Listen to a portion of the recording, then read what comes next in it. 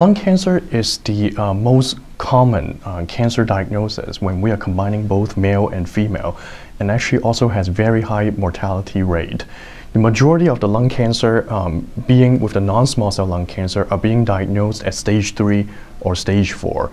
And oftentimes with non-metastatic lung cancer being in small cell and non-small cell lung cancer, radiation has a uh, very important role in uh, the multidisciplinary care for our patients and is actually integral and curative. The more and more research has been done and discovering that with radiation therapy, there is also interaction, for example, with immunotherapy and our immune system